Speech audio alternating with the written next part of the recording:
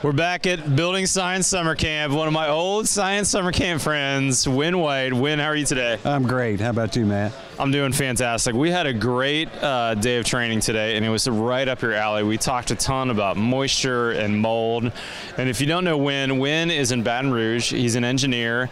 Um, he deals in all kinds of different remediation. Um, but I think your main business is probably lead, asbestos, and mold. Is that right? Yeah, 50% asbestos, uh, probably 10% mold, and then the rest is uh, uh, construction defects and consulting. Got it. Um, and I, the cool part about about uh, your business too, and I didn't realize your son was a was a uh, engineer too. It's been really fun to meet Chris too. Yeah, he's uh, a great young man. Of course, he's not all that young anymore, and I guess that means I'm getting to be old. But he's a professional engineer just as I am, and uh, so he's learned from the ground up uh, how to deal with all these issues. That's awesome. Hey, Wynn, in today's presentations, they were talking about mold. I was flashing back uh, to a couple of recent interviews I've had with clients that have asked me very specifically, Matt, I've got a real bad mold sensitivity and I want to build a house that is mold free from the start and stays that way. And it's interesting, in the last probably two months, I've had two clients that that's the very first thing that came out of their mouth. As you think about that as an engineer and you've dealt with a lot of remediation, what are the couple of first couple things that come into your mind? Well, first thing is there's no such thing as zero mold. Now, the key is because there's mold everywhere is we don't want it growing in the house. And so, uh, y- yes, it does help to use materials that won't support the uh, growth of mold. But again, if you have a water problem, you're going to have indoor air quality problems. Maybe not mold growth, but it's going to be musty, damp, nasty. And so the, the key is get it dry, clean up any mess that you have, and keep it dry. Yeah, for sure. And if you're building new, let's say as I'm talking to these clients in Austin, what are some things that are that are key for building new and thinking about a mold-free house? Well, and, f- let me kick, start off by saying, you know, it rains when you're building the house. Yeah. But as long as you let the structure dry, it's it doesn't hurt it. So you don't have to be paranoid about building a tent over the house while you're building the house. Yeah. So let's not worry about that. Now the next step is when you build it and you get to the uh, enclosure. Uh, or the outside, the cladding of the system, uh, you can build a perfect wall in a lot of aspects, but you punch holes in it. We call them windows and doors, Yeah. and then you have all the utility uh, entrances. You need to flash those properly, key them into the water uh, uh, shield so that the water comes out. So, and remember this let's say brick veneer. I love brick veneer. But it, brick, if you take a garden hose and spray water on it, in less than one minute, there will be free water running down the backside of the brick. That's right. So the key is to catch that water at the bottom or at the head of windows or your penetrations and flash it to the outside. If you do that, you're going to have a, a structure that will last forever. Yeah, I totally agree. Wayne, what do you think about using alternate building materials for somebody who's interested in doing this? You know, what do you think about, let's say, uh, concrete walls or insulated concrete forms, or you know, going to non-paper face drywall, things like that? Well, I love reinforced concrete. I'm an engineer. So, uh, you know, my color palette is black, white, and battleship gray. So, uh, concrete's kind of in that gray category. so. But uh, uh, really, the new materials, uh, non paper face gypsum board is, is a good material. But again, if you get it wet and keep it wet, the water's going to run to the bottom of it. Right. It's going to sit there where it's going to cause you problems if you don't shed it out. Yeah. So, you mentioned several different products that are great. Uh, if they're done correctly, they all work super. Yeah, I think that's the key, and that's really what we talked about today and the research that they were talking about with mold in particular.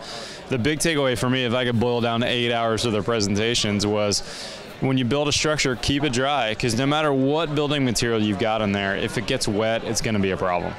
Exactly, and it, to me, it doesn't matter what kind of mold you're growing indoors. If it's growing inside, it ain't good. Yeah. So let's keep it from growing, and so you don't need to know which species of mold is growing inside. You got to clean it up. Yep. Now, having said that, if you're allergic to a particular kind of mold, it's important that you not be around that that kind of mold. But it, but that's pretty hard. I mean, if you go outside, you know, mold is everywhere.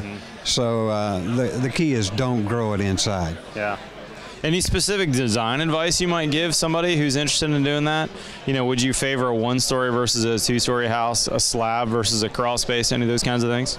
No, I you know I do like slabs, but uh, as far as single story, two story, I would recommend that you bring the ductwork inside the uh, thermal envelope or inside the uh, insulation, and if you do that in a crawl space, then I like think of a crawl space as a mini basement. Mm-hmm. Pour slab, vapor barrier everywhere, drain water around the structure. Yep. Uh, if you have to have a sump pump, that ain't a good sign, but yep.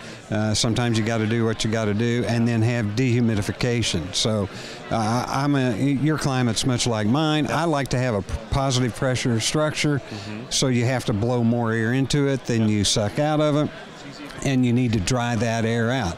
And that, of course, that was the last uh, presentation today, which was right up uh, that alley. Yeah, we were talking about lazy ACs in the last presentation, but the whole point of the presentation was basically, look, you know, your air conditioner is only pulling moisture out of there when it's running, and it's got to run for at least 30 minutes before it starts pulling moisture out of the air. So why not be smart and have a dehumidifier separate? And we've been doing that for probably seven, eight years now in Austin. Well, he the, one of the keys that he made was, and you can buy a magic box, I call it, that has all that equipment in one thing.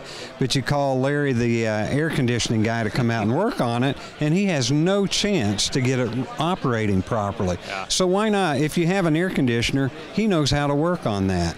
If you have a dehumidifier, he knows how to work on that. Right. So it's a slam dunk. Yes, it costs a little bit more money, maybe, but uh, your energy bill is going to be different. It's going to be less, and it's going to work. That's the best part. Yeah, I totally agree. And you know, Joe made a really good point at the end. He was talking about uh, mechanical systems in our houses, and his point was don't get a magic box that does everything. Use a HVAC system that has a thermostat to control temperature, that has a dehumidistat to control your dehumidifier, and that has a vent stat or whatever you want to call it for ventilation that again is also separate from those, so you can control all three of those separately. I thought that was really interesting. Um, last question for you, Wynn. Tell me about um, filtration in houses, whether people need UV lights or depending on on their sensitivities. What's your thoughts on that? Well, several years ago, I did an article that was published in the Indoor Environment Connections magazine on UV light. It does work in certain situations. It's great if you shine it on the coil, mm-hmm. but you would have to have a bank. Think of the, the kill zone. How long does the mold spore have to be inside the UV light? Mm-hmm. Uh, that's a great question. So if you shine it on the coil, it'll keep the mold from growing on the coil and, in, and improve the efficiency of your coil filtration, you know, the fact is most dust is heavier than air. It's going to end up on your floor, not back at the filter on your air conditioner. So keep your house clean. I do recommend buying vacuum cleaners with a HEPA vacuum on it because if you don't, you're just sucking the dust up from this corner of the room and blowing it to the other side of the room. Yeah, that's right. So do that. And cleanliness is next to godliness, so keep the place clean and dry. Yeah. And you know, uh, I haven't installed them recently, but I used to install a bunch of central vac systems that were piped to the outside. Seems like that would be a great fit too for somebody who's really has allergies and mold issues, because now there's no chance of a bypass on an HVAC or on a uh, uh, HEPA filter. It's going to blow to the outside. I, I don't disagree with that, but I would one caution would be if you're sucking out 30 CFM of air, you need to supply or make up that 30 CFM eh, with good dry air because if you're sucking warm, humid air in and it's 70 degrees on the thermostat inside, you're going to have condensation. Yeah. And then mold. And then you got other problems happening. Exactly. Hey, Wynn, how can people get a hold of you if they're interested in learning more about you and your company? Well, you can Google Wynn White. That's W Y N N W H I T E in Baton Rouge, Louisiana.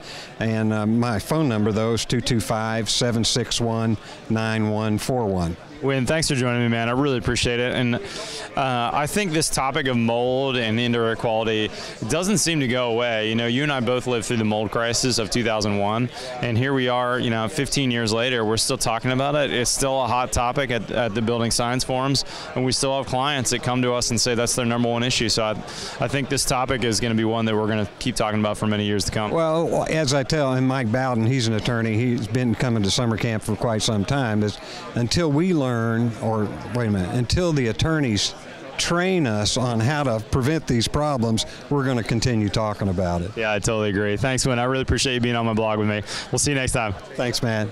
I enjoyed it.